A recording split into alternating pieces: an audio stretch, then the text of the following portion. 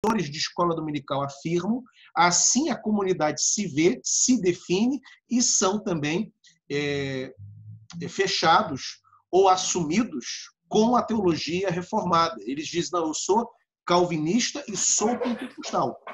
Então, essa síntese uh, é uma questão que precisa ser analisada. Não adianta um reformado ou um pentecostal dizer, não, eu não aceito que isso seja possível. Né? Até tem o direito de, de lutar em reconhecer, mas essa recusa em reconhecer não impedirá a, a, tais comunidades de se definirem dessa maneira. Então, a melhor forma da gente analisar isso é tentar estudar, tentar entender as causas disso. Por que, que algumas Perfeito. comunidades pentecostais né, romperam com o arminianismo e assumiram a teologia reformada, especialmente na área da soterologia, que é onde o calvinismo ali tornou-se mais conhecido no Brasil, embora sabemos que calvinismo é muito além, muito mais do que soterologia.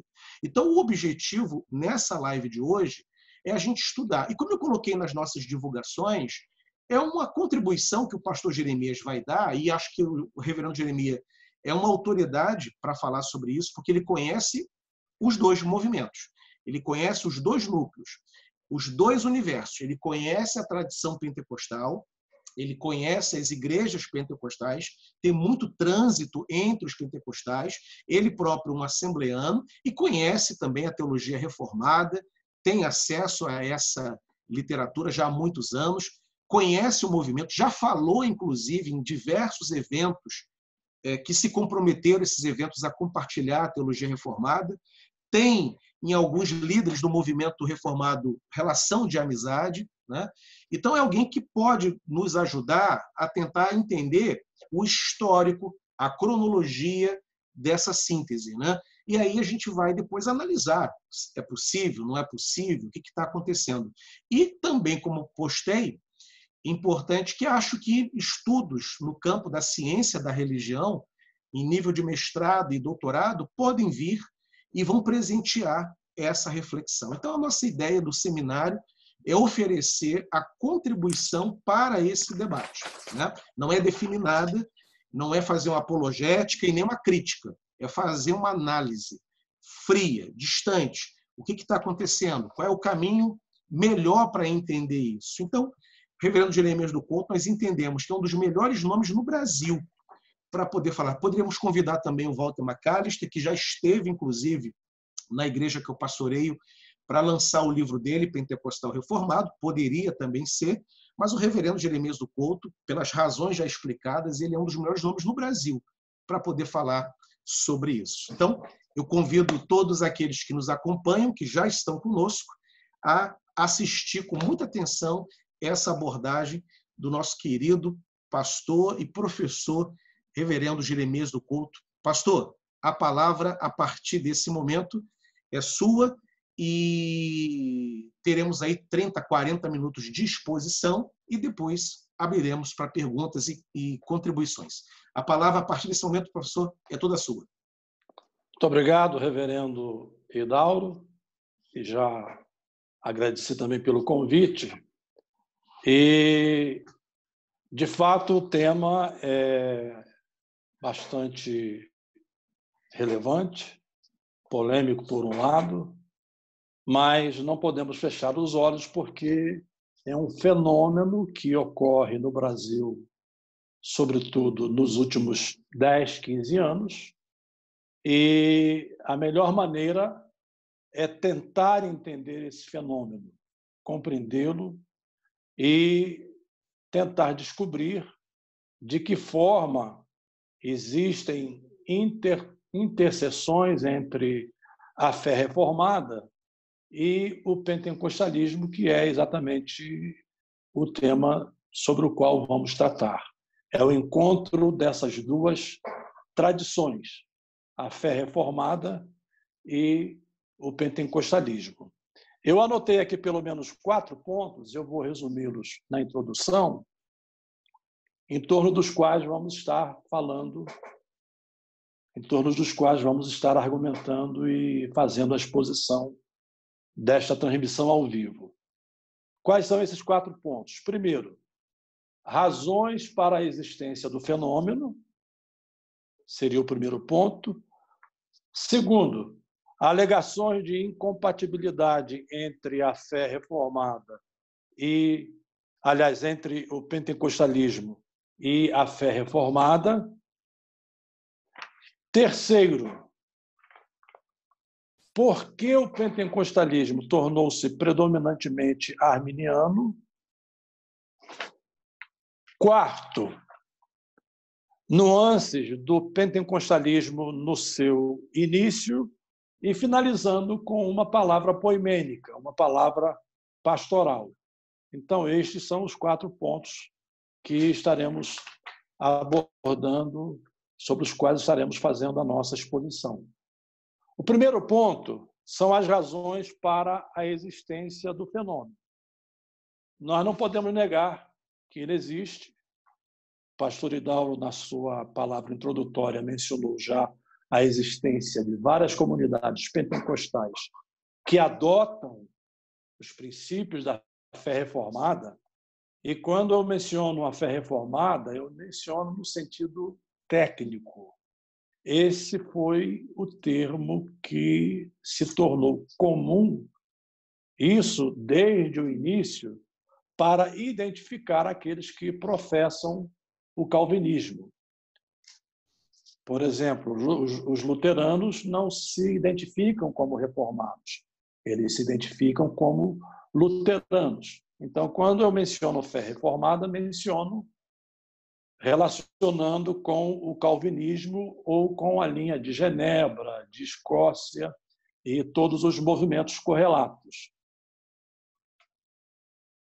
Neste caso, nós temos aqui algumas razões que mostram as razões da existência, os motivos da existência desse fenômeno.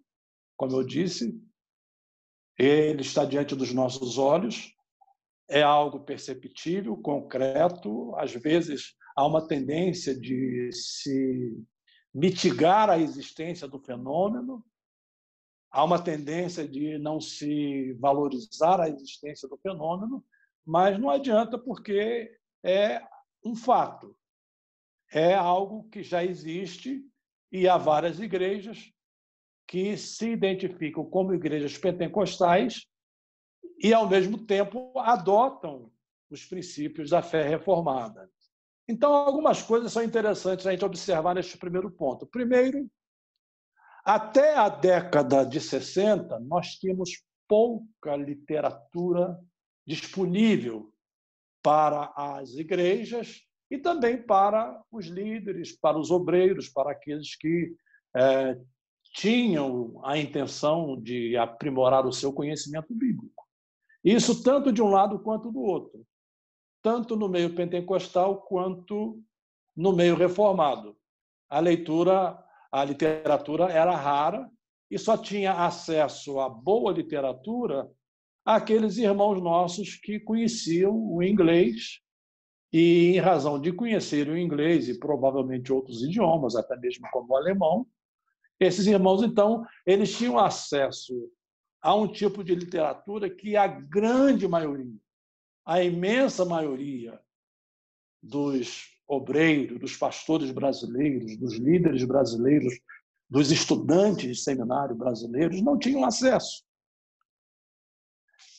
Então, esta é uma das razões que contribuíram para o fenômeno, e veremos isso já no ponto seguinte, quando eu menciono também a pouca valorização do ensino teológico formal, sobretudo nas Assembleias de Deus e no meio pentecostal. Aqui eu não menciono a fé reformada, mas no meio pentecostal, pela ênfase ao poder do Espírito Santo, pela ênfase ao papel do cristão como um proclamador das boas novas, e também pelo senso de urgência que caracterizou a Assembleia de Deus em relação à vinda de Jesus Cristo, pouca importância se dava ao ensino teológico formal e, em certas instâncias, ele era até combatido.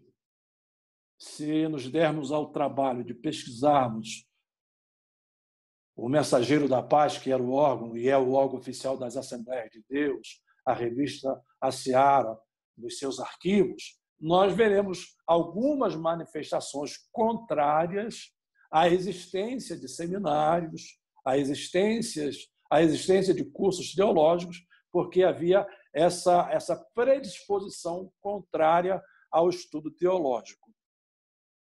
Outro ponto ainda neste primeiro tópico, razões para o fenômeno, é o florescimento da literatura reformada. Nos pontos anteriores eu falei da pouca existência de literatura até a década de 70 e aquela atitude refratária dos líderes contra o ensino teológico formal.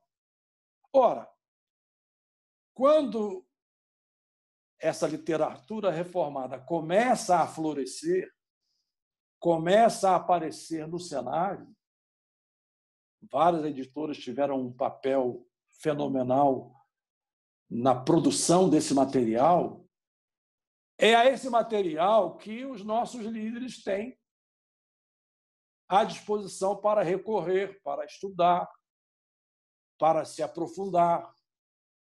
Eu me lembro que a primeira obra na Assembleia de Deus no Brasil tratando de teologia sistemática foi o livro Conhecendo as Doutrinas da Bíblia de Maya Pirman, um livro traduzido dos Estados Unidos. Mas antes de se ter essa obra, já tínhamos Berkoff, um autor reformado, e muitos de nós se abeberaram da fonte de Berkoff para estudar teologia sistemática.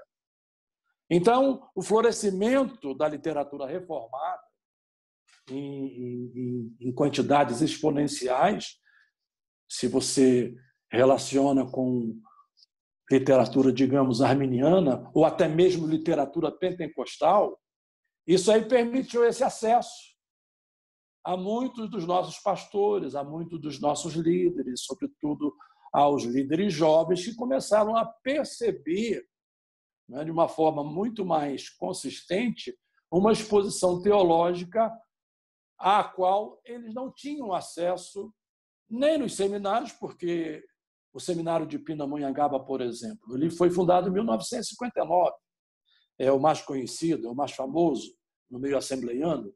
Aí depois, não demorou muitos anos, surgiu no Rio o Instituto Bíblico Pentecostal, o segundo seminário de porte e que também teve um papel relevante ah, no resgate do estudo formal da teologia. Mas até então, as nossas fontes eram essas. E por último, neste primeiro tópico, nós não podemos deixar de mencionar o advento das redes sociais. No mundo de hoje, e isso começou há pouco mais de 10 anos, é? no mundo de hoje, não existem barreiras, não existem limites, não existe como você, digamos, esconder as coisas, entre aspas, porque todos temos acesso a todos os tipos de materiais. Material de boa qualidade, material de má qualidade, material que envolva questões teológicas, material que envolva o estudo secular. Nós temos isso à disposição nas redes virtuais, tanto para pesquisa quanto para ser adquirido para o nosso uso pessoal.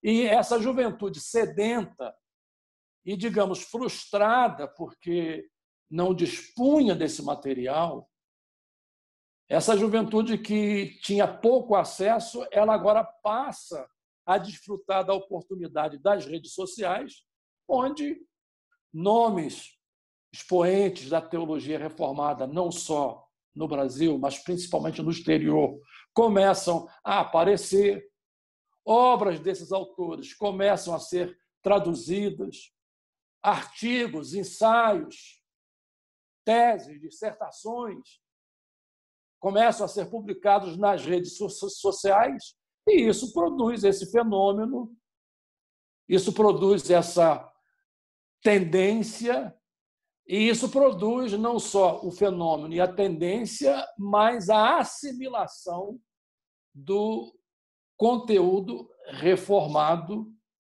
por nossos jovens pentecostais, por nossos jovens assembleianos. Então, para a gente poder ganhar tempo em relação ao horário que dispomos, essas são as razões para a existência do fenômeno. Ele existe.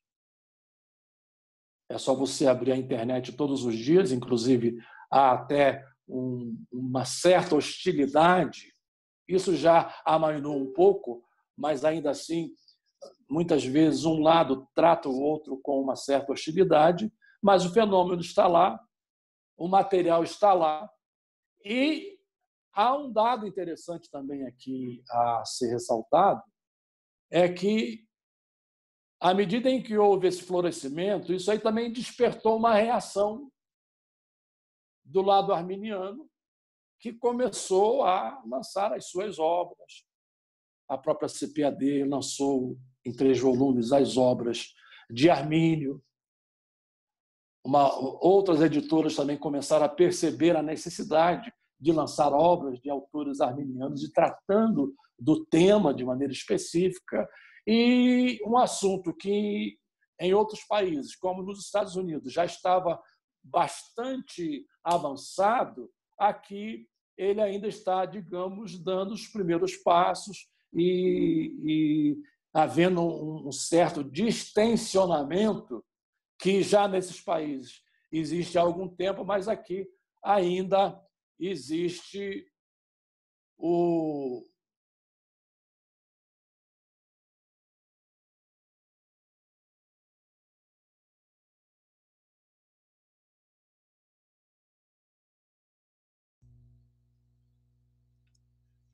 acredito que o nosso querido é, reverendo Jeremias caiu a sua conexão, pastor Idauro? Estou é, vendo que caiu. Aguardar alguns instantes, né? Isso.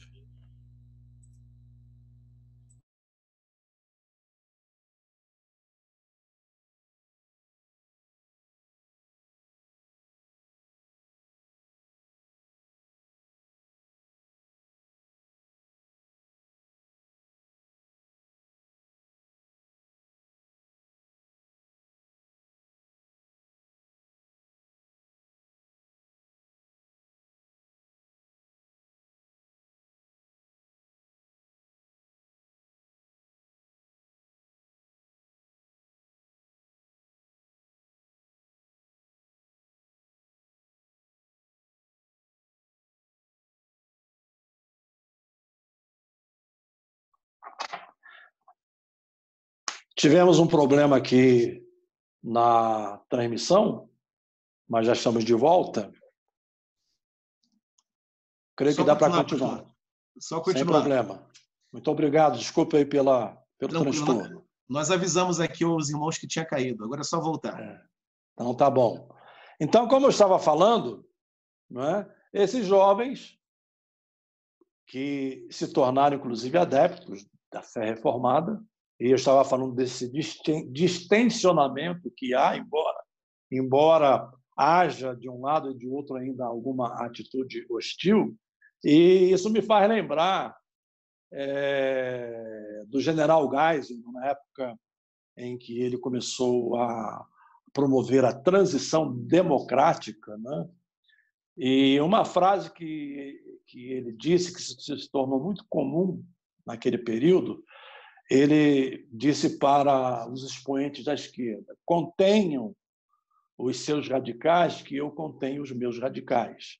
É uma expressão interessante, porque às vezes é esse radicalismo, essa hostilidade desnecessária, que criam tantas barreiras, onde, na verdade, ao invés de barreiras, o que existe são pontes.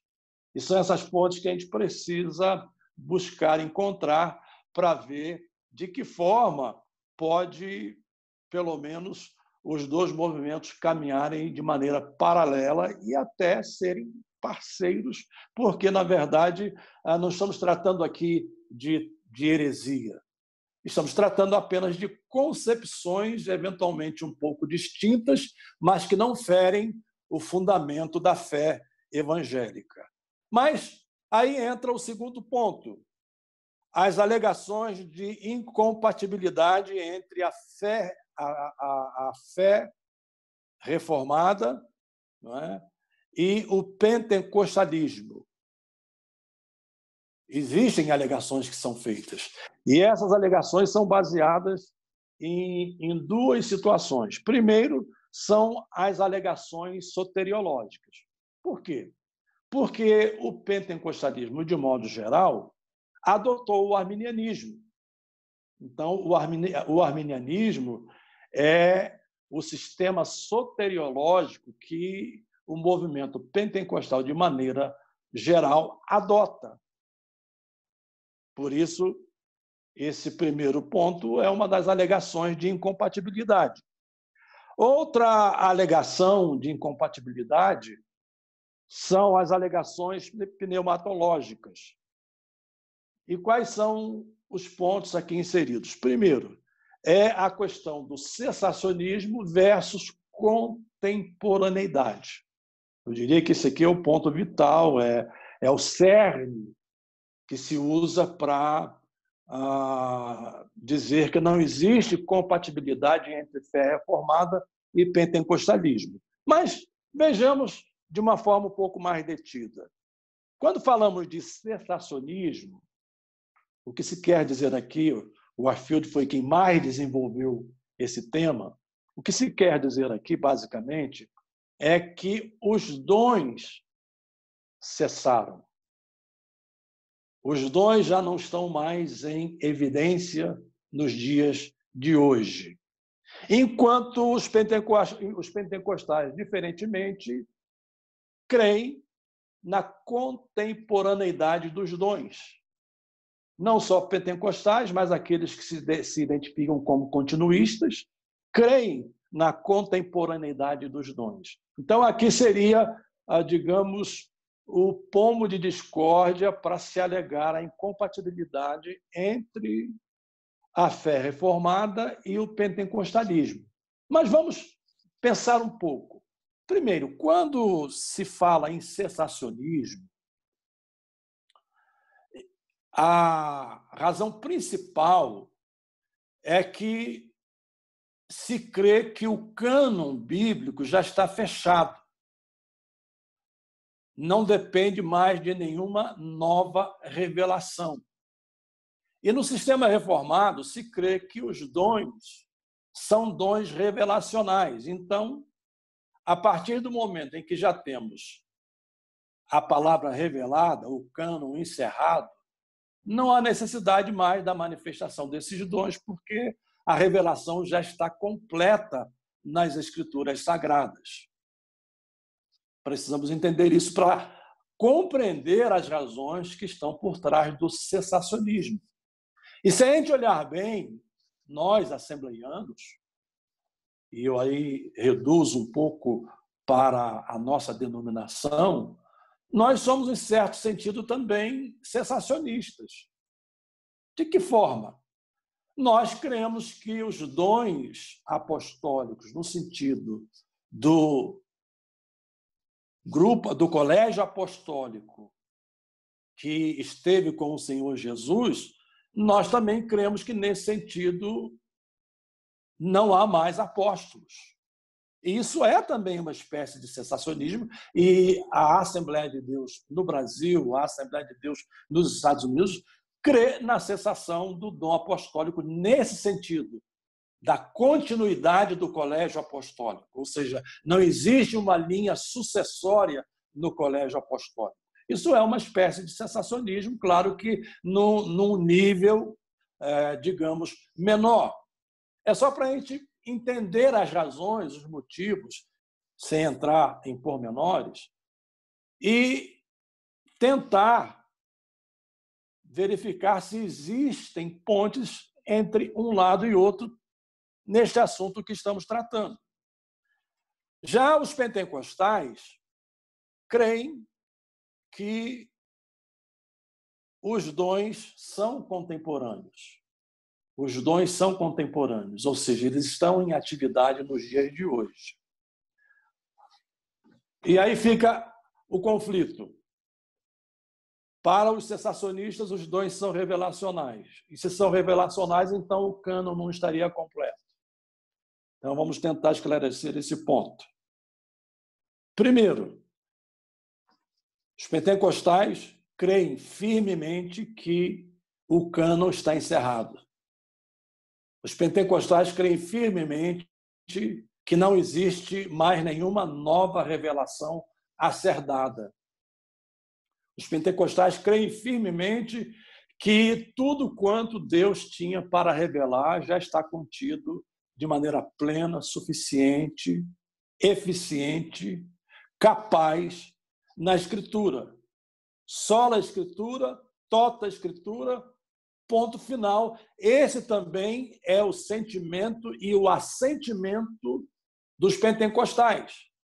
Nós cremos da mesma forma como os creem, como creem os nossos irmãos reformados. Agora, qual é a diferença em relação aos dons? E é nisso que às vezes nós precisamos refinar os nossos argumentos. Nós pentecostais cremos que esses dons, principalmente os dons de locução, eles são dons preditivos.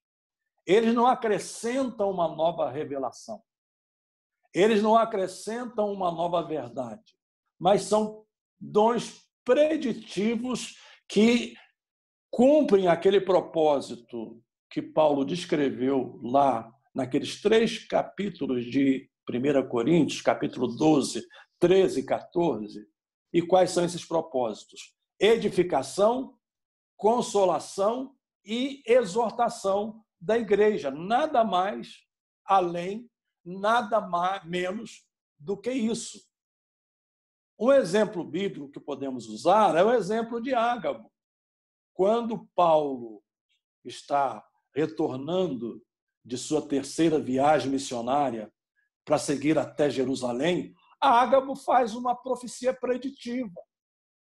Ele não acrescenta uma nova revelação. Ele não acrescenta uma nova verdade. Ele faz uma profecia preditiva e é interessante, se fosse eu hoje, se eu visse aquela profecia, é muito provável que eu não seguiria para Jerusalém, porque eu pensaria duas vezes, não era o Senhor que estaria me orientando, me advertindo a não seguir adiante. Mas houve uma profecia preditiva e ainda assim Paulo seguiu para Jerusalém, porque aquela profecia tinha o propósito de confortá-lo tinha o propósito de edificar a sua fé, de fortalecer a sua fé e não acrescentar nenhum novo dado, nenhum novo elemento, nenhuma nova revelação à Escritura. Então, nesse ponto, a diferença está aí. Eles creem que são dons revelacionais, e por serem revelacionais, então, cessaram, porque já não precisamos de uma nova revelação, enquanto nós cremos que são os dons de locução são dons preditivos. Mas quando se fala de irmãos sensacionistas, não se quer dizer que eles não creem em milagres, não se quer dizer que eles não creem na intervenção de Deus, não se quer dizer que eles não creem que Deus não possa curar, não se quer dizer nada disso, senão que eles creem que esses dons cessaram por não, sobretudo os dons de elocução, por não haver necessidade de uma nova revelação, enquanto nós, pentecostais, cremos que esses dons são dons preditivos. E aí, ainda nesse ponto das alegações pneumatológicas e dessa relação cessacionismo e contemporaneidade e da natureza dos dons, como acabei de mencionar, nós temos que perceber uma coisa. Então, por que, que o pentecostalismo adotou o arminianismo? Se o arminianismo só difere da fé reformada na questão soteriológica. E aí eu vou aqui anotar os pontos. É a questão do loucos, como mencionou o reverendo Idauro. Quais são os pontos em comum entre arminianismo e calvinismo? Como é que se diga, inclusive, que lá atrás esses, esses essas nomenclaturas, esses títulos, surgiram mais no sentido de hostilidade do que de tentar é, definir uma corrente da outra. Foi uma maneira de uma corrente hostilizar a outra. Então, quais são os pontos em comum entre arminianismo e calvinismo? Primeiro, cessacionismo. Segundo, aspersionismo, ou seja, os arminianos históricos, eles batizam por aspersão. Inclusive, houve um probleminha lá naquela tradução das obras de Armínio pela CPAD, que o tradutor, talvez mal informado, ele traduziu o termo em inglês que era para aspergir, ele traduziu para imergir. Isso foi um erro e, posteriormente, parece que foi corrigido na edição seguinte. Porque quando Armínio menciona aspergir, e o termo em inglês é esse, e o termo em latim também é esse, ele está aludindo ao sistema adotado pela fé reformada, que é o, o aspersionismo, o aspersionismo, o batismo por aspersão.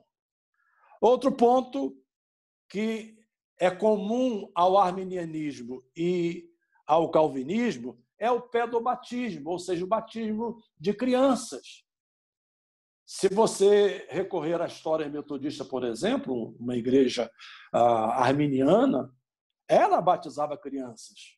Não sei hoje qual é, qual é a configuração adotada, mas ela batizava crianças e batizava por aspersão batizava crianças e batizava por aspersão. E, por último, outro ponto que é comum entre o arminianismo e o calvinismo é o aliancismo. Então, aonde eu quero chegar? Eu quero chegar exatamente nesse ponto. Se você diz que é incompatível a fé pentecostal com a fé reformada, então, pela lógica, e é também uma questão necessária, digamos assim, pelos pontos que eu acabei de descrever, é uma questão necessária. Também a fé pentecostal deveria ser incompatível com o arminianismo, porque o arminianismo professa que esses quatro pontos que mencionei, cessacionismo, aspersionismo, pedobatismo, aliancismo, que não são pontos adotados pela fé pentecostal. Então deveria haver incompatibilidade. Mas se não há incompatibilidade com o arminianismo, em razão e mesmo que esses pontos se identifiquem com a fé reformada, logo também não pode haver incompatibilidade entre o pentecostalismo e a fé reformada. Não faz sentido essa incompatibilização, porque deveria ser, por coerência, deveria ser também incompatível com o arminianismo. E aí eu entro no quarto ponto. Por que o pentecostalismo tornou-se predominantemente arminiano? E não adotou a fé reformada nos termos como estamos aqui apresentando. E eu enfatizo aqui a palavra predominantemente, porque há segmentos pentecostais que, desde aquela época, por influência de seus líderes, eles continuaram seguindo a fé reformada da forma como criam, até porque o movimento pentecostal que surgiu no início do século XX foi um movimento de caráter interdenominacional. Embora houvesse predominância de um grupo, mas ainda assim ele alcançou presbiterianos, alcançou congregacionais e tantos outros grupos professantes da fé reformada. Então a pergunta é: por que o pentecostalismo tornou-se predominantemente arminiano? E aí nós temos as respostas. A primeira delas é que essa predominância ela foi por osmose, digamos assim. A palavra osmose significa ah, quando um sistema maior é absorvido por outro menor de uma maneira natural. Esse é o sentido, nos termos que eu quero aplicar aqui, o vocábulo, esse é o sentido da palavra. E eu chamo a atenção aqui, inclusive, para uma entrevista do pastor Douglas Batista, que é o comentarista da, das lições da Escola Bíblica Dominical das Assembleias de Deus e que terminou neste último domingo, neste trimestre.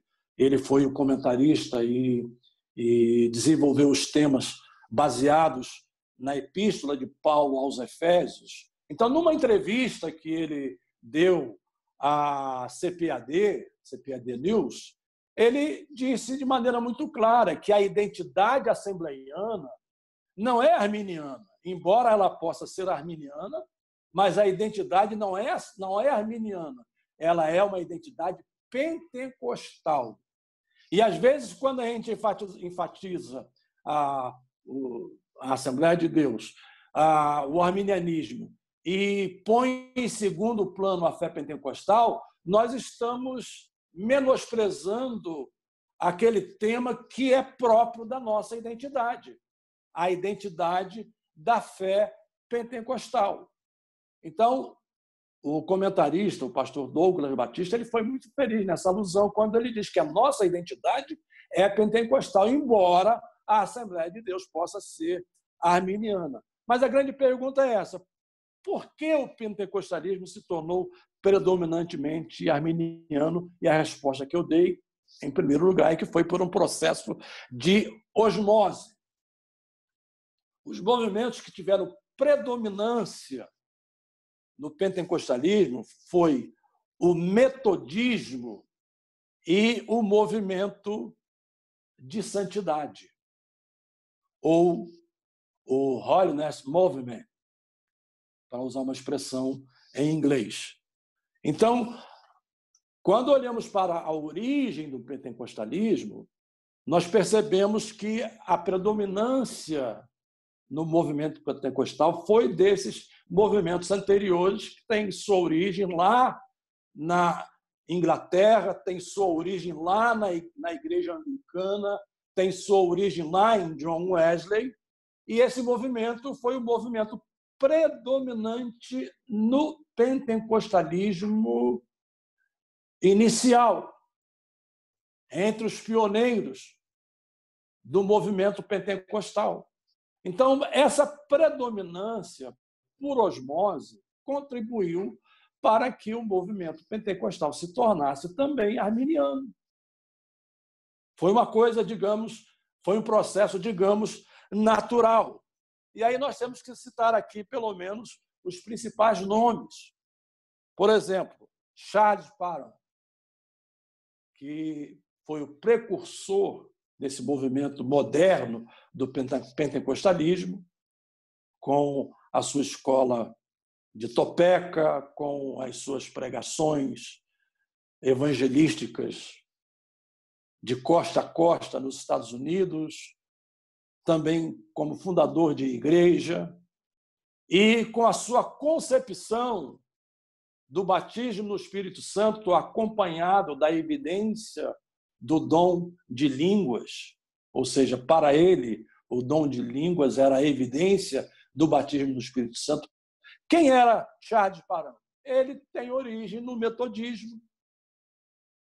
Ele passa pelo movimento de santidade, e ele traz desse movimento, sem entrar no mérito de outros pontos doutrinários que ele defendeu com, com os quais nós não concordamos, mesmo como pentecostais, mas ele traz desse movimento o conceito arminiano. E esse conceito arminiano acaba impregnando o movimento pentecostal em seu início. Outro nome que podemos citar aqui é Williams Seymour. William Seymour foi aquele negro que inicialmente teve uma relação amistosa com Charlie Parham, foi aluno inclusive de sua escola bíblica.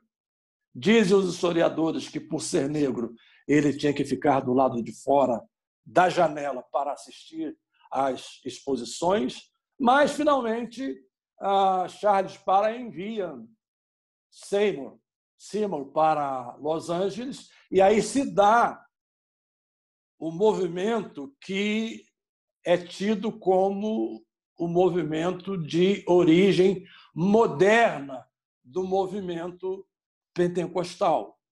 É o movimento da, de Azusa.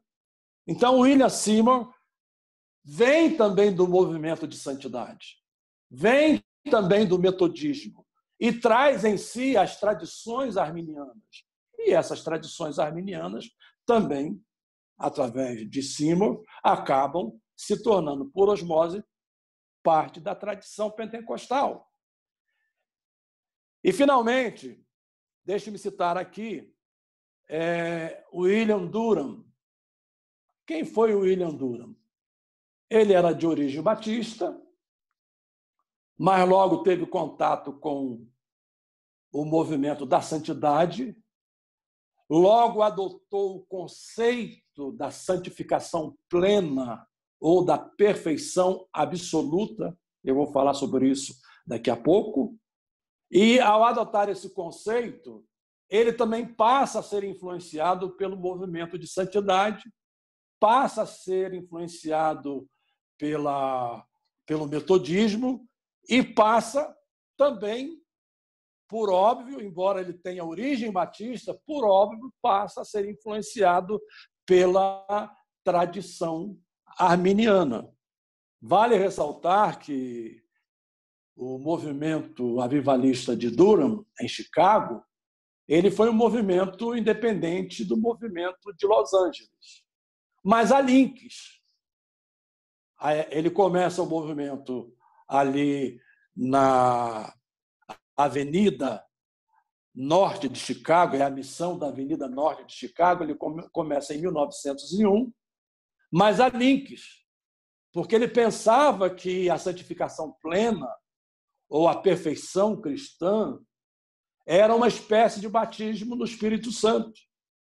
Mas aí ele ouve sobre o avivamento de Los Angeles, Charles Paran, as, as, o dom de línguas, a evidência do batismo no Espírito Santo sendo manifestada mediante as línguas estranhas. E, inicialmente, ele rejeita esse conceito. Mas ele vai a Los Angeles, vai para tentar conhecer o que estava acontecendo em Los Angeles, mergulha em Los Angeles no movimento da Azusa Street, até que depois de duas ou três semanas ele recebe o batismo do Espírito Santo, começa a falar em línguas estranhas e volta a Chicago, passando por dois ou três estados e pregando em algumas outras igrejas, trazendo agora essa concepção do batismo no Espírito Santo com a evidência do falar em línguas estranhas. Então, o ponto aqui é para mostrar que o movimento pentecostal se tornou arminiano por osmose. Não é uma identidade assembleana que a Assembleia de Deus, digamos, sentou-se, discutiu, avaliou, ou as igrejas pentecostais discutiram, avaliaram e chegaram à conclusão que o arminianismo é a confessionalidade assembleana. A confessionalidade assembleana, repita-se, é a identidade pentecostal. E, claro, hoje o arminianismo faz parte, faz parte, inclusive, da nossa declaração de fé, mas foi um ato que veio por osmose por causa da predominância do movimento de santidade, por causa da predominância do metodismo ah, no início do pentecostalismo. Mas um ponto interessante é que o metodismo e o Holiness Movement trazem aquele conceito da perfeição cristã que vem de Wesley, ou o conceito da plena santificação como uma bênção distinta da salvação. E eles chamavam essa bênção distinta da salvação como segunda bênção da graça.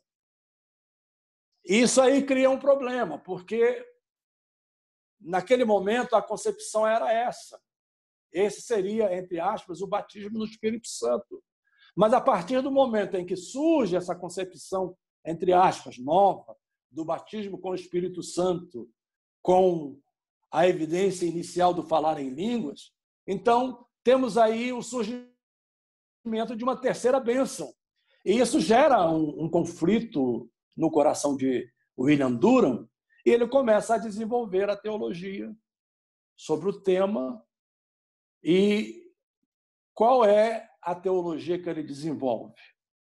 Ele desenvolve a teologia de que a plena santificação ou a perfeição cristã é aquilo que ele chama de obra consumada, ou seja, no Calvário, o cristão, pelo processo de conversão, já se torna plenamente santificado, absolutamente santificado diante de Deus, enquanto ao mesmo tempo essa santificação ela será demonstrada de forma progressiva na vida do cristão.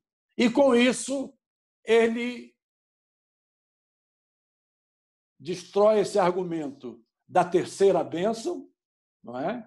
mantém o conceito da segunda bênção como o batismo no Espírito Santo, com a evidência do falar em línguas estranhas, e a santificação plena ou a obra consumada, completa, envolvendo a santificação, ela se dá no ato da conversão em Cristo Jesus. Nesse contexto, o batismo no Espírito Santo, então, passa a ser a segunda benção. É interessante que ele volta depois, em 1911, se não me foge a memória, volta a Los Angeles e começa a pregar, a pregar esta mensagem lá em Los Angeles. E ele não é aceito. Seymour não o aceita. Seymour rejeita esse conceito. E a rejeição desse conceito por Seymour faz com que Durham alugue um prédio numa daquelas ruas de Los Angeles e comece uma nova obra ali, já com esse conceito da, da, da obra consumada ou seja, santificação plena ou perfeição cristã, sendo algo instantâneo realizado no ato da conversão e a segunda bênção sendo o batismo no Espírito Santo com a evidência do falar em línguas.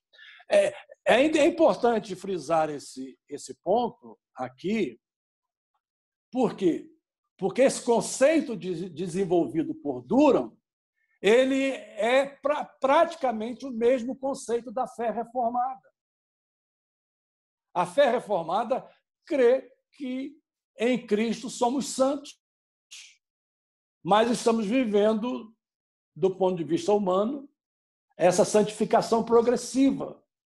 E John Stott definiu isso muito bem, isso é citado por muitos outros autores, quando ele diz: na cruz nós fomos salvos da pena do pecado, ou seja, salvação completa, perfeita, eficaz. Nós nos tornamos santos diante de Deus, é o estado, é a nossa condição, é tanto que Paulo, várias vezes, nas suas epístolas, chama os cristãos de santos, de santificados. É a expressão que ele usa. Então, essa é a nossa condição, é o nosso estado, é o lado divino da santificação. Mas, ao mesmo tempo, tempo, estamos sendo salvos do poder do pecado, ou seja, é o lado humano da santificação, é a santificação progressiva. A cada dia vamos nos aperfeiçoando como cristãos e finalmente seremos salvos do corpo do pecado, que é a glorificação final. Então, até nesse ponto, nós temos aí a assimilação de um conceito que vem da fé reformada e que entrou em choque com Seymour, entrou em choque com Paran porque ambos continuavam a defender a ideia da plena santificação ou da perfeição cristã como uma obra distinta da salvação e, sendo assim, o batismo no Espírito Santo seria uma terceira bênção. Quinto ponto, e já estamos indo para a conclusão, nuances do pentecostalismo no seu início.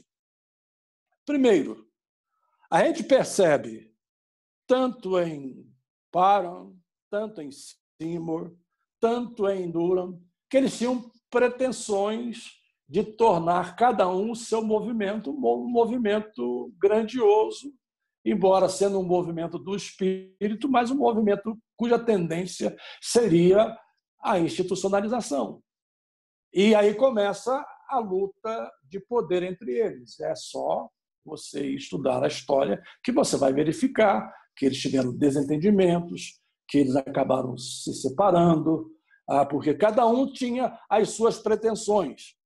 Outro ponto interessante é que, simultaneamente ao movimento de Azusa, nós tínhamos uma outra igreja chamada Igreja de Deus em Cristo. Essa Igreja de Deus em Cristo surgiu através da liderança de dois pastores, entre eles Mason, e eles vinham também do movimento batista, mas também adotaram os princípios do Holiness Movement, ou do metodismo, ou seja, aquela, aquele conceito da perfeição cristã, aquele conceito da plena santificação como algo distinto da salvação. Mason toma conhecimento do avivamento de Los Angeles, vai a Los Angeles, absorve o conceito do avivamento de Los Angeles, a ideia do batismo no Espírito Santo, retorna para Memphis, que era a sede da sua igreja, retorna para Memphis, já com essa, com essa doutrina consolidada.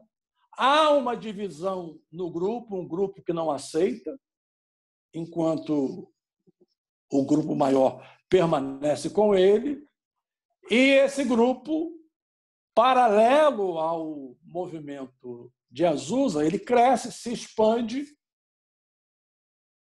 E um detalhe interessante: são coisas que devem ser pontuadas. O movimento de Azusa ele se tornou um movimento que quebrou barreiras raciais, porque pela primeira vez negros e brancos estavam reunidos no mesmo salão, sem nenhuma distinção de etnia, embora Param tivesse alguns vestígios de racismo, porque ele condena, ele condena, é, ele condena Seymour por ele adotar esse conceito de mistura, digamos assim, esse conceito em que brancos e negros podem estar reunidos juntos.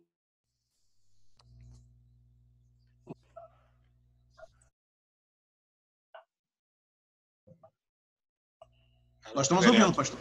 Já... Só a imagem. Okay. Vamos embora. Caiu aqui a imagem. É... É... Eu estava falando de de, de Seymour que sofreu racismo.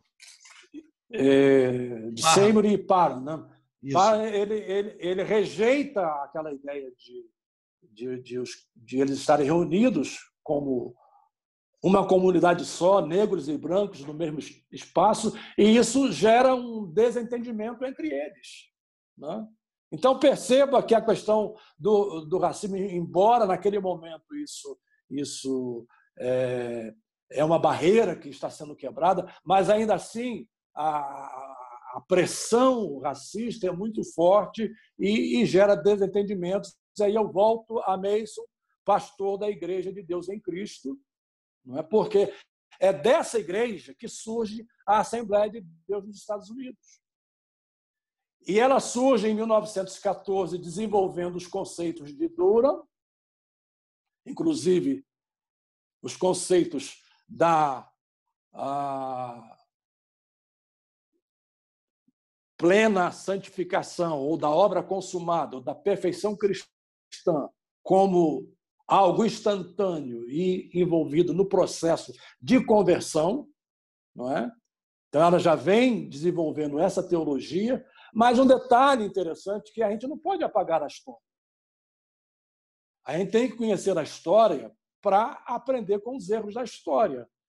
É que a Assembleia de Deus sai de dentro do movimento de Mason, da igreja de Mason, que era uma igreja constituída em sua maioria de negros, e todos os que saem desse movimento de, da Igreja de Deus em Cristo são brancos para fundar a Assembleia de Deus.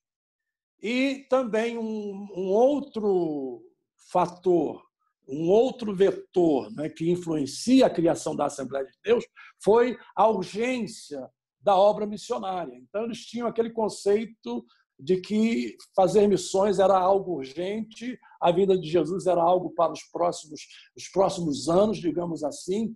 E eles assimilaram um conceito de paro. E, e que conceito era esse? De que as línguas eram nativas e os missionários poderiam ser enviados para os outros países e lá eles não precisariam aprender os idiomas nativos, mas eles receberiam o dom de línguas para pregar no idioma nativo dos próprios povos onde, onde eles estariam pregando o evangelho. Só que isso não aconteceu. Eles foram enviados, não aprenderam, aliás, não, não houve um fenômeno, tiveram que aprender as línguas, então o conceito foi mudado né, para a ideia de glossolalia, né, que predomina no meio assembleiano. Então, é assim que surge o pentecostalismo, é assim que temos aí essas nuances ah, no meio pentecostal.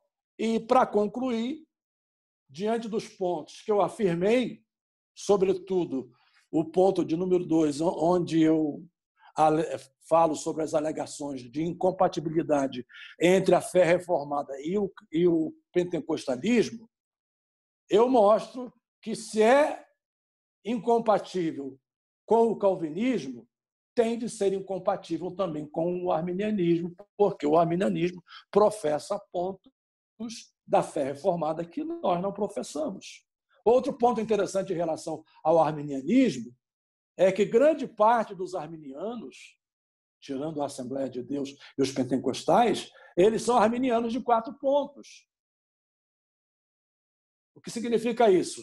O quinto ponto perseverança dos santos, eles creem exatamente como creem os, os, os que professam a fé reformada. Então, para concluir, em minha palavra poimênica, pastoral, eu acho que nós, ao invés de construir barreiras, nós devemos construir pontes.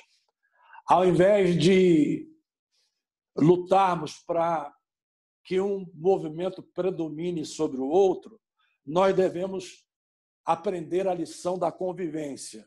Por exemplo, lá atrás, na década de 60, quando surgiu o movimento de renovação espiritual, teve um pastor reformado aí que disse que o Gran Conato, não é que isso aí foi fruto de, de infiltração de, orquestrada de pentecostais e quando na verdade esse argumento dele é ad hominem e é um diversionismo, porque o movimento surgiu entre líderes da própria denominação, José Rego Nascimento, Ernesto Nini, aquela outra missionária americana cujo nome não me sobressai agora, começou lá em Belo Horizonte e o movimento cresce, toma corpo e a Convenção Batista, naquele momento, ela prefere adotar uma atitude radical, desliga os líderes do movimento, que dá uma margem para o surgimento, então, da Igreja Batista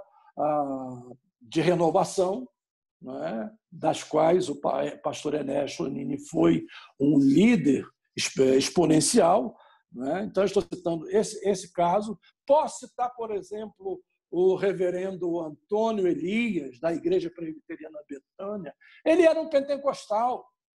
Só que a Igreja Presbiteriana soube lidar com o problema e ele não teve nenhuma dificuldade com o sistema presbiteriano, porque houve essa compreensão para a fé de Antônio Elias. Assim como hoje eu percebo né, entre os batistas, os batistas hoje já não fazem essa guerra contra as igrejas que professam, digamos, o continuismo, professam a fé pentecostal. Também entre os presbiterianos, você encontra aí líderes que são continuistas, inclusive teólogos ah, de ponta como Wayne Gruden, é? e poderia citar aqui eh, Hernandes Dias Lopes, no Brasil, eh, e alguns outros que professam a fé reformada, mas creem na contemporaneidade dos dons e a, digamos, a liderança denominacional não cria problema com isso. Eu vou pedir permissão ao reverendo Hidauro para citar a própria igreja congregacional. Sim. Tem um segmento da igreja congregacional que, que adota o arminianismo, tem um segmento da igreja congregacional que é continuista. A igreja congregacional de Bento Ribeiro, do, do, do, do venerando reverendo Amaury Jardim, Exatamente. era uma igreja de um lado tinha os sensacionistas e de outro tinha lá os pentecostais. E eu perguntava a ele, eu era amigo dele, sou amigo dele ainda, porque ele não, não morreu. Eu perguntava, e daí, reverendo? Ele falou, ele dizia para mim, meu amigo, eu sei lidar com os dois grupos e mantenho os dois grupos, e aqui a gente vive debaixo da graça do Senhor Jesus. Né? Então, eu, o, o, que eu, o que eu prego é exatamente isso.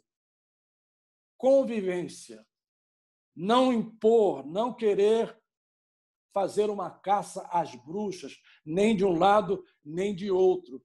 Nós, os nossos pontos de fé não diferem naquilo que é essencial.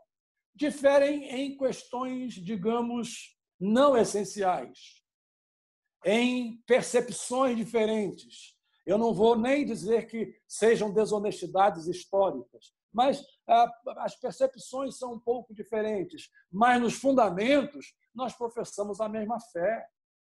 Então, por isso é que nós temos de entender esses fenômenos, lidar com eles e não perder os nossos crentes. Agora, se você é pentecostal, deixou de descrer, deixou de crer na fé pentecostal, ah, vá procurar o seu rebanho. Se você é reformado deixou de crer no, na fé reformada, vá procurar o seu rebanho. Mas se você é pentecostal, crê na fé pentecostal e também crê na fé reformada, vamos lidar com a questão de maneira ah, santa, pacífica, piedosa visando o bem do reino de Deus, porque a, a, as maiores divisões surgem por causa de poder e surgem também por causa de divergências doutrinárias, às vezes em pequenos pontos que podem ser absorvidos e, e resolvidos. Então, em síntese, para terminar, em razão da hora, essa é a minha exposição sobre o tema, o encontro das tradições, fé, pentecostal e fé reformada. Obrigado, pastor. Está me ouvindo bem? Estou ouvindo bem.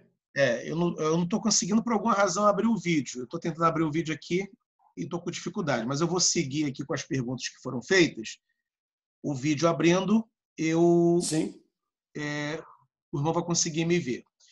Ah, o assunto, pastor, muito interessante. A gente tem gente do Brasil inteiro, alunos, inclusive, do seminário, como Paulo Norato, por exemplo, lá de Goiás. Mandaram um abraço também para a gente, o pastor Oswaldo Santos. Oswaldo Santos, lá em Portugal, foi presidente dos congregacionais no Brasil. Um grande abraço também para o pastor Oswaldo e muitos outros irmãos ah, mencionados aqui. Ah, bem, localizar a pergunta. A primeira delas O Natanael, pastor Natanael, é, Eushandai, o nome dele, Natanael Eushandai. Qual ensino uhum. teológico é mais é, desagradável, é o termo que ele emprega, né, ao evangelho? O ensino reformado ou o ensino pentecostal? Eu creio que talvez seja o mais difícil de ser assimilado por determinada comunidade, né? O reformado ou o pentecostal. É, não, eu, eu diria que, é, em ambos os casos, o ensino reformado em relação à fé pentecostal ele é mais difícil de ser assimilado, até pela predominância do arminianismo por essa predominância que vem desde os tempos em que o, o movimento pentecostal tem, tem, tem, marca o seu início com o movimento de Azusa, embora haja movimentos paralelos e movimentos anteriores. Então, por outro lado, também no meio reformado existe a dificuldade de se aceitar não é, a, a, a digamos, a fé pentecostal por esses aspectos pneumatológicos, sobretudo, talvez a gente precisa ah, ter um refinamento dessa concepção dos dons, porque para eles, como eu já disse, os dons são revelacionais e em sendo revelacionais, então já não há mais necessidade de qualquer nova revelação, porque o cânon foi fechado e as escrituras são completas quanto à revelação de Deus para o homem. Então, eu diria que a dificuldade ela é de ambos os lados, né? de uma Sim. corrente aceitar a outra corrente. Perfeito, pastor. William Lopes, qual a contribuição das redes sociais para o crescimento desse fenômeno no Brasil? Eu diria que a contribuição é grande. Grande por quê? E aqui eu, eu vejo que eu estou procurando evitar discutir teologia. Né? Estou tentando traçar uma linha histórica, como pediu o reverendo Hidauro. A contribuição é grande, por quê? Porque a, as Assembleias de Deus, pela sua própria natureza, pela sua própria estrutura, pelo seu próprio modus operandi, ela tem mais dificuldade de lidar com esse advento das redes sociais. Vamos só retornar à história. Em nossa igreja, nós éramos proibidos de ter televisão. Antes da televisão, éramos proibidos de ter rádio. Muitos cristãos foram excluídos, disciplinados da igreja porque fizeram uso desses aparelhos que eram proibidos. Digamos que a, a, educação formal não era estimulada, não era estimulada. Não vai nisso aqui nenhum demérito. A Assembleia de Deus ela vem de, de, de um segmento pobre, digamos assim, ela cresceu uh, nos segmentos populares. Né? Ela não, não cresceu na classe média e nem, e nem em meio à elite, ela cresceu nos movimentos populares. Então, a ideia que se tinha é que não se precisava, e até se interpretava aquele, aquele versículo ali de Paulo, quando ele diz: a, a letra mata, mas o, o espírito vivifica, né? se interpretava como se fosse algo a ver com a cultura, com a formação, com a educação e principalmente com a educação teológica formal. Então, nós nos tornamos refratários e nós ah, não sabemos usar bem, digamos, as redes sociais como esses nossos irmãos souberam, estão sabendo usar. Né? Então, a influência é muito grande das redes sociais ah, e, e dos nossos irmãos reformados na disseminação, na divulgação da fé reformada. Maravilha, pastor. Ah, tem uma pergunta interessante aqui do Heitor Lamartine, lá de, lá de Toritama, no, em Pernambuco. Paz do Senhor, sou de Toritama, Pernambuco, sou aluno de mestrado em Ciências Sociais da Universidade Federal, ele coloca a sigla aqui, eu não consigo identificar a sigla, ah, é uma federal lá da região do Nordeste. Tenho pesquisado sobre o processo de pentecostalização do congregacionalismo a partir do movimento de renovação espiritual. Notei que os pioneiros renovacionistas assimilaram não apenas as crenças e práticas pentecostais, como também o léxico pentecostal. Todavia, As novas gerações de pastores têm se reencontrado com a tradição teológica reformada, havendo declínio nas ênfases da renovação. Em que medida é possível para essas igrejas renovadas resgatarem a tradição reformada e manter a vitalidade pentecostal? Eu creio que talvez essa pergunta, né, pastor, seja mais. Eu posso responder daqui a pouco, porque ele fala da tradição congregacional. É, eu acho que essa pergunta é mais fácil ser respondida pelo irmão, embora eu conheça um pouco o meio congregacional, Sim. dê aulas aí da igreja em Niterói, no Seminário Congregacional de Niterói, que é um seminário de confissão reformada, né? mas, é, como eu disse agora há pouco, há segmento no congregacionalismo que adota a linha arminiana. O senhor sabe disso. Né? Então, talvez é, talvez é melhor o senhor mesmo fazer uma exposição e responder a esse querido irmão. Ele até, pode, até posso, inclusive, depois indicar algumas obras para ele, porque é o seguinte: o Robson Cavalcante escreveu um texto maravilhoso que é Cristianismo e Política. Né? Uhum. Ah, Já li o livro.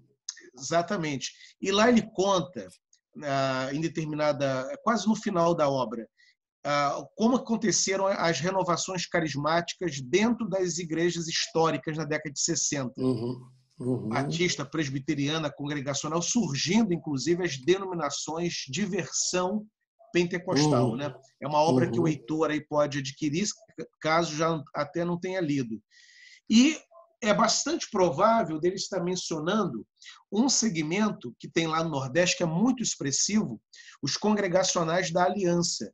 Os congregacionais uhum. da Aliança saíram da denominação em, na década de 60 por causa da renovação carismática. Sim, perfeito. Tornaram, tornaram-se carismáticos, né? adotaram até em algumas igrejas locais a harpa cristã e, mais recentemente, nos últimos dez anos, ou um pouco mais, sob influência, inclusive, do Aurivan Marinho, estas comunidades da aliança congregacionais elas fecharam em torno da teologia reformada. Foi um movimento bem interessante, uhum. digno mesmo até de uma boa pesquisa, como o Heitor parece estar fazendo aí. Né?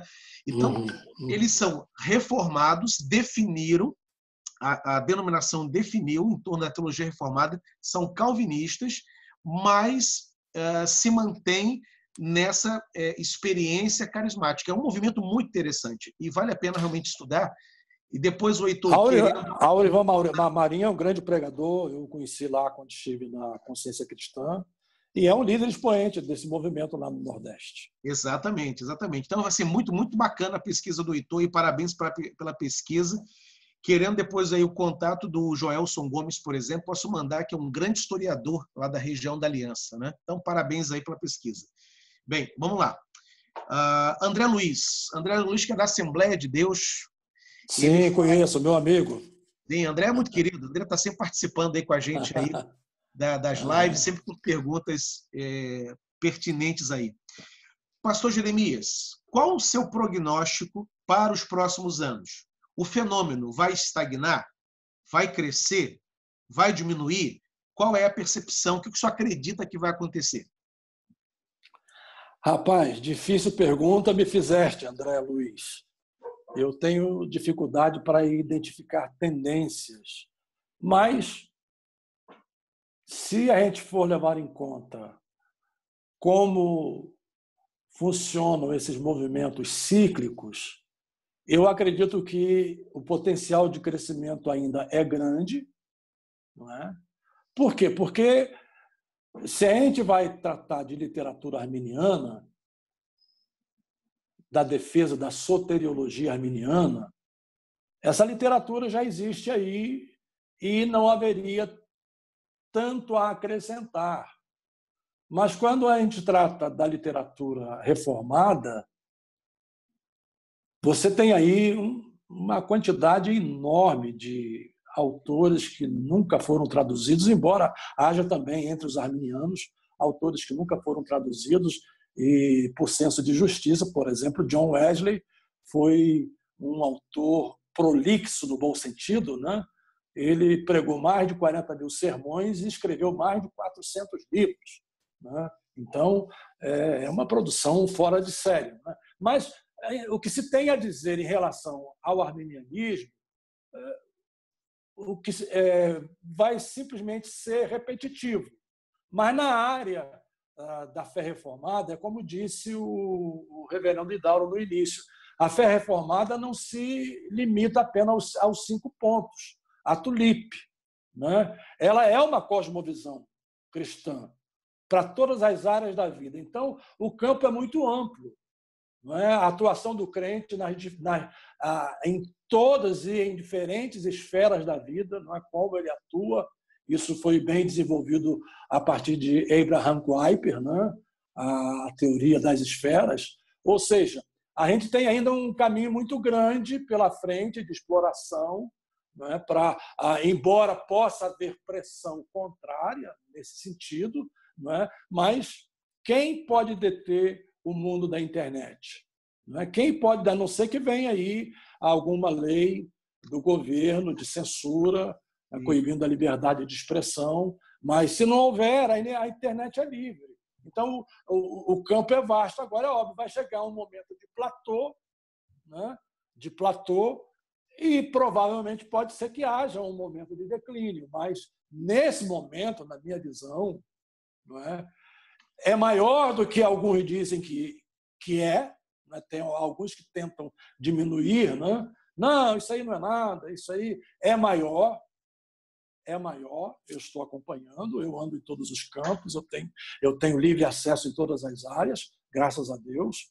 Eu, eu tenho esse senso interdenominacional, até pelas, pelas posições que eu ocupo, então eu posso perceber que há ainda um vasto caminho pela frente. E detalhe, ah, e detalhe não, se o senhor me permite, além Permito? de tudo, além de tudo, além de ser maior do que às vezes se quer admitir, tanto de um lado reformado como do lado pentecostal, é, tem a ver também com os jovens, muitos jovens nessa, nessa experiência Sim. carismática e reformada. O que Sim. significa que o movimento, o fenômeno, ele tem longo prazo, porque se alcança Sim. a juventude, então você tem aí, em tese, um, um, um, movimento de longa duração. Perfeito, porque se fossem os idosos, Exato. Já, estamos, já estamos com o pé na cova. Exato. Eu ainda não. Não cheguei aos 50 ainda. Eu estou nos 66. Mas tá garota ainda. Tem muita, muita coisa a fazer ainda. 60 hoje em dia não é nada. Mas, assim, e, corroborando, pastor, o que o senhor falou, né, e, o senhor tem uma andança, né, a, a, até porque o senhor, nesse momento do, do seu ministério, o senhor está dedicado a essa atividade interdenominacional, né, a esse trânsito de, de pregador, aceitando os convites para lecionar, para pregar, para fazer conferência, muito mais do que eu e o pastor Davis, que estamos numa igreja local. E o senhor tem, portanto, uma visão presencial privilegiada. E nas ocasiões em que eu pude participar de alguns eventos, a predominância nos congressos é de jovens, de jovens e jovens universitários ou a caminho da universidade, o que é muito bom, pois, como eu, como eu já falei, representa uma vida longa no fenômeno e, detalhe, e como são universitários, representa um segundo corte, que é o refino do fenômeno. O fenômeno fica refinado porque essa turma que está na universidade passa pela experiência né, de, de, de, absorver a teologia reformada, de ter a sua experiência carismática, mas depois vai querer explicar o fenômeno, o que significa que vem aí boa produção acadêmica nos próximos anos. Sim, não tem dúvida, não tem dúvida. Eu, eu, eu ainda na minha uh, estou fazendo um mestrando, o mestrado, né, uh, no Martin Busser, né, é, em São José dos Campos. Vai para o Lattes, e... né, ah, Vai para o Lattes. Vai para o Lattes, é, tem que ir para o Lattes. A hora, que, a hora que, é, que, ele, que, eu, que eu puder reconhecer, porque é, vai ser em parceria, em parceria com o Theological Reformed Seminary lá nos Estados Unidos, né? Então, quando tiver o diploma, aí vai para o Lattes. Enquanto isso, é livre. Mas o ponto que eu quero chamar a atenção é que o único velhinho lá sou eu. Sim. Interessante, né, professor? É, os outros lá são de 25 anos, 28 anos, 30 anos, 35 anos, ou seja, gente que tem aí uma, uma caminhada longa pela frente. Né? Com certeza. Vamos lá, Emanuel Rodrigo. É, na sua opinião, pastor, qual o líder pentecostal se destaca na história é, entre os reformados? Líder pentecostal se destaca na história entre os reformados. Eu diria que o que tem se destacado mais hoje, até porque tem obra publicada nesse sentido, não é que é um nome, é um nome conhecido, eu diria que é o reverendo Walter McAllister. Né? Ele se destaca porque ele é, é um líder de uma denominação, né? a Igreja de Nova Vida. A Igreja de Nova Vida foi fundada por seu pai, Robert McAllister, é, convém que se diga, inclusive, que Robert McAllister ele foi missionário de origem assembleiana quando veio para o Brasil. Sim. Veio para a Assembleia de Deus, mas não se adaptou aos costumes assembleianos e começou a obra de Nova Vida ali na ABI, Associação Brasileira de Imprensa, e ela se cresceu, se tornou uma igreja e se tornou a Igreja de Nova Vida. Depois teve a, a cisão, é? Com o bispo Oscar, mas aqui no Rio, quem, quem é o superintendente, o bispo, é o reverendo Walter Macalister, de uma igreja de raiz pentecostal e que adotou a linha reformada. Então, estou falando de um líder de proeminência ah, e de um líder denominacional. Exato. E, e, primeiro teórico, né? Primeiro teórico do e, movimento. E o primeiro teórico do movimento do Brasil, porque escreveu uma obra sobre o tema. Exato, com certeza. Pastor Nielson Silva. Nielson Silva é um querido pastor congregacional lá do Recife. E, inclusive, ele pastoreia a Igreja Evangélica Pernambucana, que é uma das quatro igrejas fundadas pelo doutor Robert Reid Cali. Né? Cali fundou a hum. Fluminense, fundou a Pernambucana, fundou a Igreja de Niterói, a primeira onde funciona o nosso seminário, e fundou a Igreja de Passa Três. Né? Então, ele é o fundador direto dessas quatro igrejas e o Nielsen é, portanto, pastor de uma dessas igrejas históricas. E ele faz a seguinte pergunta, pastor: Como o pastor Jeremias enxerga a relação dos pentecostais? Pergunta complicada que ele faz, hein? Dos pentecostais com o poder político, pastor, no Brasil. Meu irmão, é, eu tenho um livreto aqui. Eu vou até pegar aqui porque está à mão. Esse livreto, eu vou mostrar aqui. Eu escrevi ele faz parte de uma coleção lançada pela Consciência Cristã. E o tema dele é visão cristã sobre, política.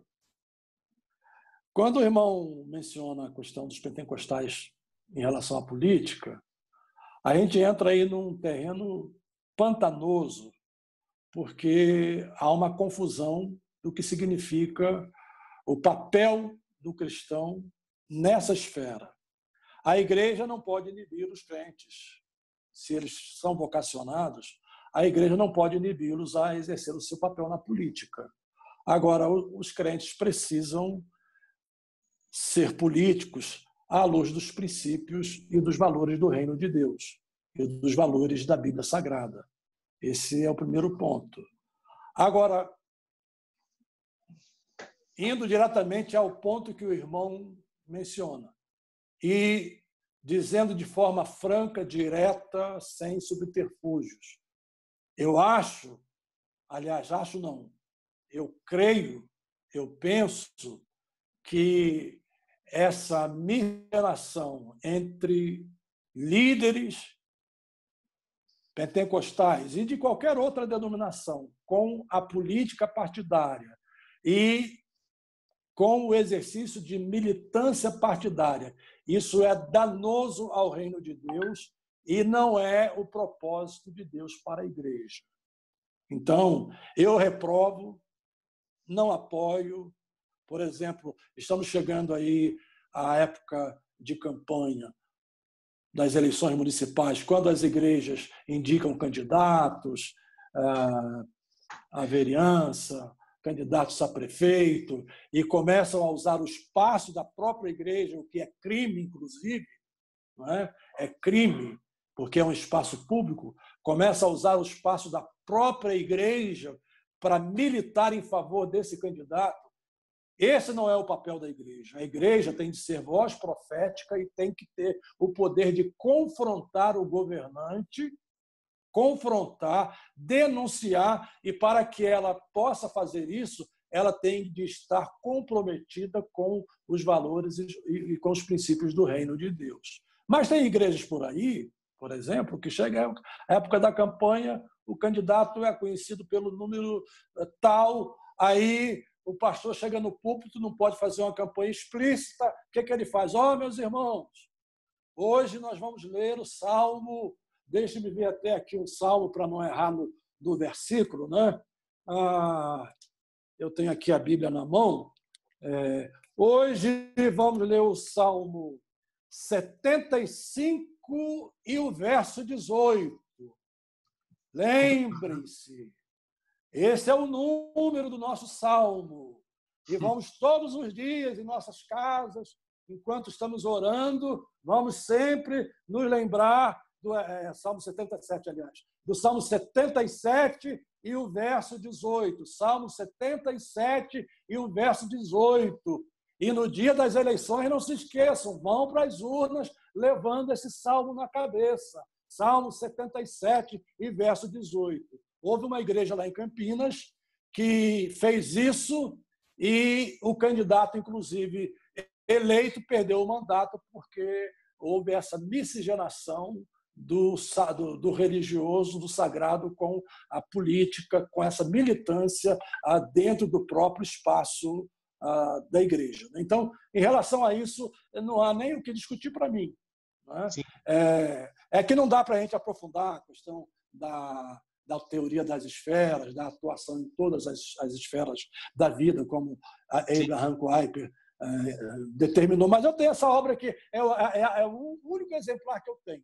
Talvez aí em Campinas, na consciência cristã, tenha. Não é um, um, um livro acadêmico, é um livro simples, básico, para ajudar as igrejas nessa hora de orientação aos membros sobre como lidar com a política da igreja. Pastor Jeremias, a o pessoal da PUC está com a gente, lá da PUC do Rio de Janeiro, e eles fizeram aqui um comentário: ah, cuidado com o Lattes. é o pessoal do é. Departamento de História. Que bom. É cuidado, é cuidado. O Lattes agora, todo mundo revisando corretamente o Lattes. Não, tem que revisar. Tem que revisar. Emanuel Rodrigo, por que os pentecostais e os reformados não fazem mais obras sociais com tanta quantidade, né, como, por exemplo, na igreja de Corinto? Bem, eu não posso falar pelos reformados. Eu posso falar pela Assembleia de Deus. O que acontece, por exemplo, em relação à Assembleia de Deus? Não dá para a gente medir, porque o nosso sistema é um sistema híbrido, onde em certas regiões funciona alguma coisa parecida com o sistema episcopal, em outras, alguma coisa parecida com o congregacionalismo. E, embora ah, sejamos uma denominação forte, nós não temos uma unidade em termos uh, agenciais, digamos assim. Então, é difícil falar de números aqui. É difícil, não tenho como falar de números, mas eu conheço trabalhos sociais de muitas de nossas igrejas, que mantêm colégios de primeiro grau, colégios de segundo grau, a, a, lares, lares substitutos para crianças órfãs. Né? É, agora mesmo, a nossa convenção, a CGADB, a, o Conselho de Educação e Cultura Religiosa, já criou né, a rede assembleiana de educação, é? exatamente para, a, mesmo que haja autonomia nas igrejas, mas para que haja uma certa uniformidade na metodologia e também uma certa uniformidade nos objetivos e uma certa uniformidade nas ações para fazer crescer essa rede assembleiana de educação isso incluindo não só primeiro grau, segundo grau, mas também faculdades e universidades. Né? Então, temos esse projeto em andamento na Convenção Geral das Assembleias de Deus do Brasil. Quem, quem, coordena, quem coordena esse projeto é o pastor Douglas Batista. Sim. Wesley Rocha Lemes, que é de tradição assembleana, né? Pastor Jeremias, o senhor concorda que só recentemente os pentecostais brasileiros começaram a estudar a fundo a obra de Armínio? Até que ponto o pelagianismo e o semi-pelagianismo, presentes, segundo ele, em, na Assembleia de Deus, contribuiu para que alguns jovens assembleanos rompessem com o pentecostalismo e ingressassem no meio reformado? A pergunta é muito boa, é excelente. Eu diria que o estudo do arminianismo na Assembleia de Deus é recente. Eu venho de um seminário assembleiano e eu não me lembro de ter estudado esse tema no seminário, ou que isso fosse um assunto predominante no seminário. Eu não me lembro disso. E é, é, é, um seminário que era o seminário de ponta na Assembleia de Deus, o Instituto Bíblico das Assembleias de Deus, em Pindamonhangaba. Então, o que se ouvia eram os espantalhos, como ainda se ouve de ambos os lados. Não é? uma vez salvo para salvo, salvo para sempre, isso significa que você pode viver do jeito que você quiser, né? É, ou seja, interpretação equivocada dos conceitos. Né? Mas há um ensino formal sobre o que é arminianismo, e isso eu falo é, numa outra obra que está aqui perto, eu não posso apanhá-la, porque senão eu vou ter que sair aqui do, da câmara. Né? Aliás, eu vou pegar rapidinho aqui. Um momentinho.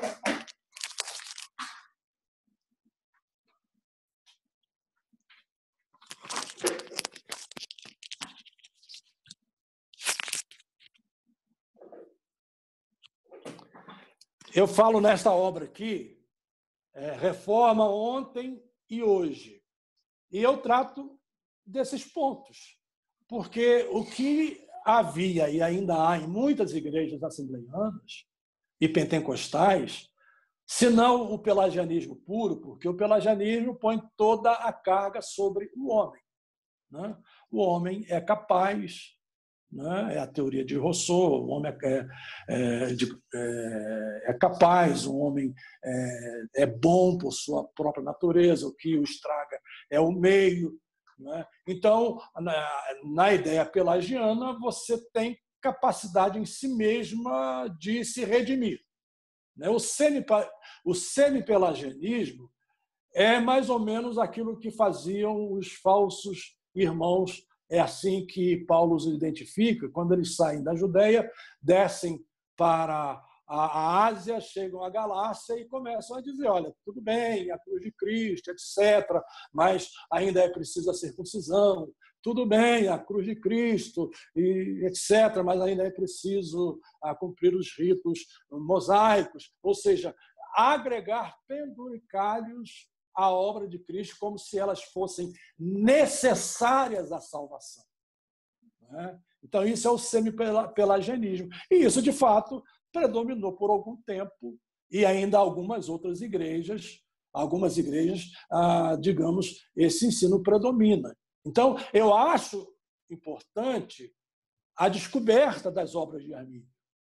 Eu acho importante que os pastores assembleianos leiam as obras de Armínio e outras obras que tratam do tema, para perceberem que Armínio está muito mais próximo de Calvino do que desse semi-pelagianismo que, que campeia aí em muitas igrejas. E aí eu vou usar uma expressão de John Wesley. John Wesley disse o seguinte: o que separa a, a, a minha doutrina da doutrina de Calvino é apenas um fio de cabelo. Para ele usar essa expressão, é apenas um fio de cabelo, ele está dizendo que a separação é praticamente nada.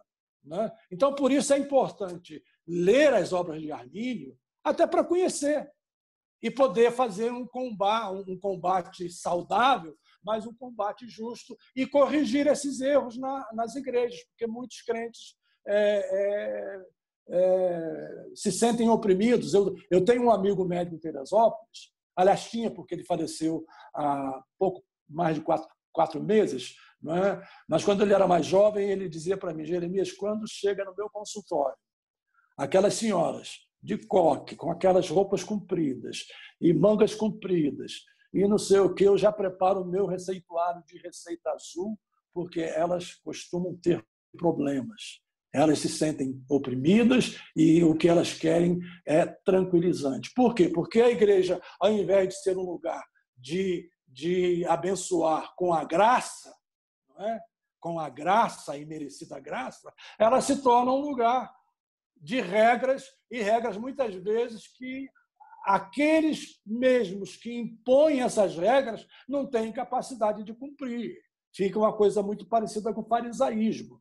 Né? Então, houve sim, por um bom tempo, uma predominância do semipelagianismo e ainda há hoje em muitas igrejas, por isso eu estimulo. Não quer ler a fé reformada, ok, mas lê as obras de Armínio até para você entender o que Armínio queria dizer com os conceitos que ele expressou. E ele mesmo disse, não é? é, é sobre Calvino, isso está registrado, é? ele disse o que Calvino escreveu é quase que como se fosse uma, uma profecia. E no que ele escreveu, não existe ninguém com mais habilidade do que ele para o que ele escreveu. Então, é, é, é, é para a gente perceber que as paredes somos nós que construímos. Existem muito mais pontes do que paredes, e é por aí que a gente tem de caminhar. Perfeito. Nós estamos entrando, pastor, nas últimas perguntas, acho que são duas que ainda tem aqui. João Mateus Ferreira. É, João Mateus Ferreira, isso mesmo. Uh, pastor Jeremias, o senhor vê alguma chance de avanço pleno em nível institucional do fenômeno reformado nas Assembleias de Deus no Brasil, mesmo com a explícita e influente resistência de grandes líderes da denominação? É uma pergunta que entra mais ou menos na mesma linha do, da pergunta feita pelo André Luiz. É? Como, eu, como o irmão mesmo mencionou em relação aos jovens, ou seja, existe um campo muito vasto ainda pela frente a ser percorrido, mas esse processo de chegar à liderança e de haver mudança institucional, esse processo ele é muito lento. Não é? Ele não é um processo rápido para quem conhece estruturas denominacionais. Essas pessoas sabem do que eu estou falando. Não é, não é fácil você chegar é, e, da noite para o dia, tentar convencer que vale a pena a convivência, pelo menos, do que esse espírito belicoso. É? Eu sou a favor da convivência e não do espírito belicoso. Então, sob esse prisma, é um processo difícil, demorado, lento, é? lento, mas as gerações que estão aí nos seus 25, 30 anos, elas vão chegar lá. É? Os líderes de hoje que estão lá ocupando posições estratégicas são líderes que fizeram muitas mudanças que antes não eram possíveis.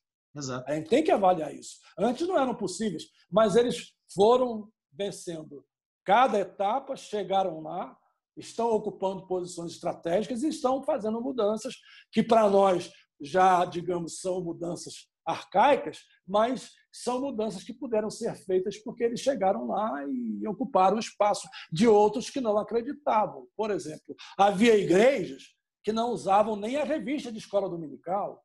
Havia ah, houve um tempo que nós não podíamos ter nem congressos de mocidade, era proibido. Né? Então, ah, a gente tem que considerar os avanços também.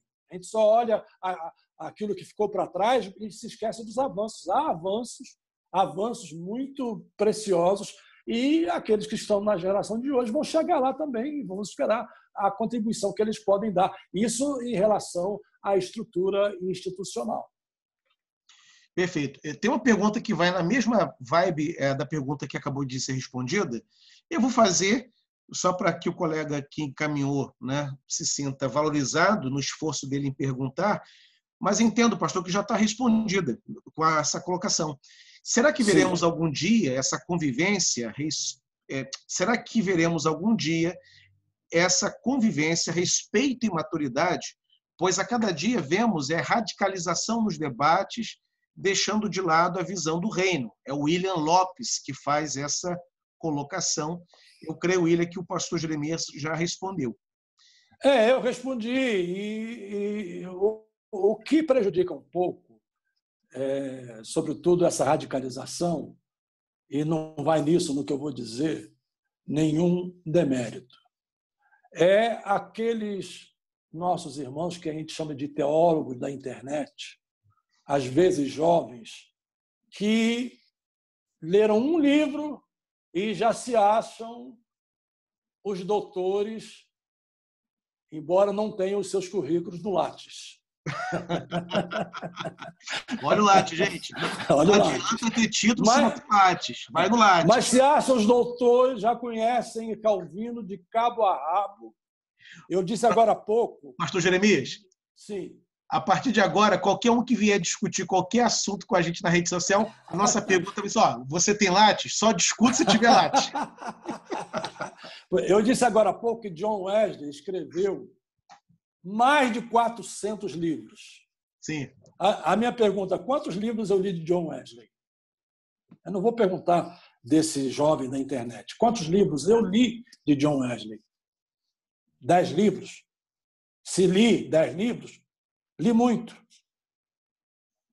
Vou citar outro teólogo, Calbar. Calbar produziu mais de 500 obras. Teólogo também profícuo, né? para não usar só, o termo prolixo. Só a dogmática, só a, dogma, só a dogmática de Calbart, só ela sozinha, 10 mil páginas escritas de teologia. Só a dogmática. Perfeito. Só a dogmática de Calbart. Você mencionou Banvik, e é um curso que vocês estão fazendo aí no seminário. Sim. Né? A quantidade de obras produzidas por, por Banvik. Então, é, esses amigos nossos leem uma, um livro e, e já acham que dominam o assunto. Eu vou ser honesto aqui. Eu, quando venho para uma live dessas, ainda mais hoje que me interromperam aqui com três chamadas telefônicas e caiu a live por duas ou três vezes, eu quando venho para uma live dessa, eu venho tremendo. Os joelhos batem um no outro, porque é, é, é, a gente tem responsabilidade no que estamos falando. Exato. Não é, não é chegar assim e achar o, o rei da para ser politicamente correto, né? o rei da cocada branca, preta, amarela. Não. A gente tem que ler. Eu passei dois, três dias lendo, estudando, reescrevendo, escrevendo, reescrevendo, lendo, anotando, para poder tentar fazer um resumo aqui de 40 minutos de um tema que duraria aí um painel de três, quatro, cinco horas, se fosse o caso, ou até mais. Né? Então, essa radicalização às vezes ocorre por isso. Né? Exatamente, pastor. E a última pergunta, pastor, para a gente poder encerrar, vem do Fábio Pereira de Aguiar. Pastor, se um pastor assembleano se declarar calvinista, ele sofrerá algum tipo de dificuldade dentro da denominação por parte da liderança? Veja bem, qual, qual é a orientação que eu dou para os jovens? E é a que eu aplico. Eu não saio por aí pregando que eu sou um, digamos, adepto, ou que eu aprecie, ou que eu entenda que a fé reformada é, digamos, mais próxima da palavra de Deus. Eu não saio por aí é, pregando Calvino, Lutero, Wesley, ou qualquer um desses, desses nomes, muito antes de essas minhas convicções se tornarem explícitas, quem me conhece de perto, quem convivia comigo de perto, inclusive na instituição, na CPAD, já sabiam das minhas posições. Agora eu não preciso sair por aí, não é? é pondo uma melancia no pescoço e, e dizendo, olha, eu sou, eu não, não preciso. Eu tenho um, uma Bíblia enorme com 66 livros, né? 27 no Novo, 39 no Antigo, para pregar sermão expositivo. Não é sermões temáticos aí que o cara uh, dá um texto, cita um versículo, e dali a pouco ele está lá em Nazaré da Galileia, perdeu o fio da meada. Não, sermão expositivo, sem precisar falar de, de, de, de, de digamos, de escolas uh, teológicas, digamos assim. Né? Então, uh, aí eu vou falar aqui baixinho. Há pastores assembleanos reformados que creem dessa forma, mas eles se mantêm quietos na posição deles. Alguns deles eu conheço, convivo com eles, outros eu sei porque as informações me chegam, mas eles ficam na posição deles para não criar esse clima de confronto, esse clima de radicalização, esse clima de hostilidade, que é o clima que contribui exatamente para, digamos, a perda da piedade entre nós crentes em Cristo. Perfeito, pastor. É aquela coisa, né? Ah, eu, é, eu gosto do termo encontro de tradições, né? Porque na verdade Sim. é isso.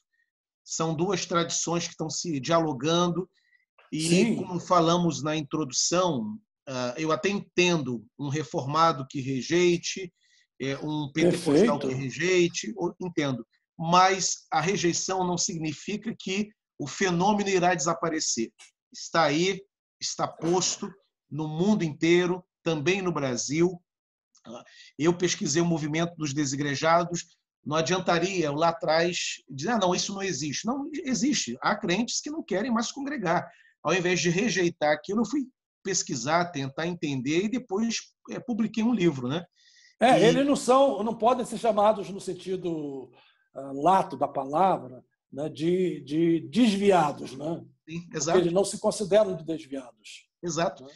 Então, na verdade, o que, o que se é, pretende fazer é o seguinte: bem, o fenômeno existe, há comunidades aqui, eu me referi. A, nós temos uma Assembleia de Deus aqui perto que é calvinista na sua confissão, para quem quiser fazer mestrado, doutorado na área de ciência da religião, porque seria a área, né, a área de pesquisa é a área da ciência da religião, que é a, disciplina acadêmica que estuda o fenômeno né, religioso. E temos uma Assembleia de Deus aqui que definiu, tem seminário estruturado já há muitos anos, a, a, toda a referência teórica e teológica do ministério é a teologia reformada. Nós temos aqui o projeto Água da Vida, né, que deu uma contribuição imensa sim, também. Sim, parcerias sim. com a editora Vida Nova, um público eh, de neopentecostais que frequentam a Semana Teológica, e muitos desses neopentecostais, uma vez expostos à teologia reformada, descobriram eh, Nicodemos, Franco Ferreira, né, foram acompanhando, Irlande Dias Lopes, foram lendo e hoje, quando você senta com essa turma, não, eu sou calvinista, eu sou reformado, e depois vai, vai estudar teologia nos seminários. Quer dizer, o fenômeno existe, ele está posto, concordando ou discordando, existe. O que tem que fazer agora é estudar o fenômeno, tentar entender, e como muito bem falou o nosso querido pastor Jeremias, estabelecer pontes, pois é, é a convivência harmoniosa que vai nos ajudar a evitar esse radicalismo que existe em tantas áreas, inclusive dentro da área eclesiológica, hum. lamentavelmente.